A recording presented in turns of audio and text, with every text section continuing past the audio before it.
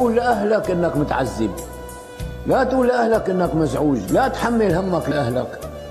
إذا سألوك قل له الحمد لله تمام الأمور بخير الحمد لله وماشي حالي ومبسوط ومتسلي مع رفقاتي وكذا هو لا متسلي ولا إي نعم عايف حاله إي نعم سخر